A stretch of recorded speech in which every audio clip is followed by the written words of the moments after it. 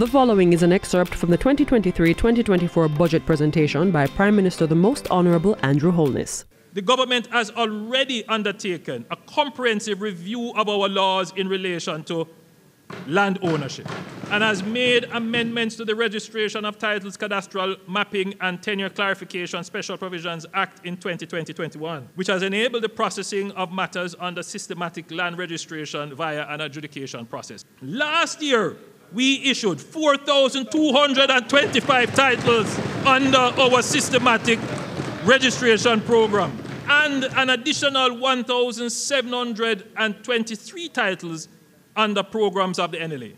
This is a total of 5,948 titles issued last year.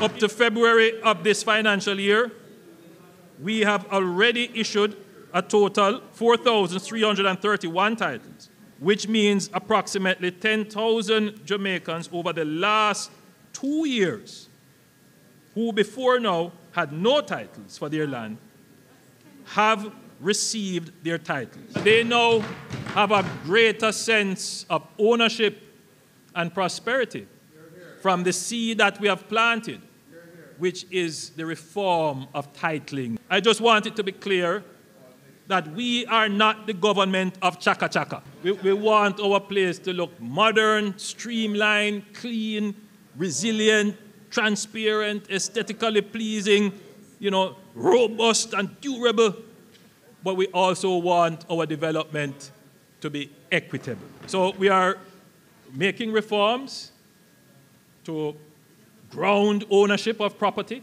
Once people have ownership of property, they usually take better care of it. And we are making reforms to, to manage how people get access to ownership and how we develop our infrastructure.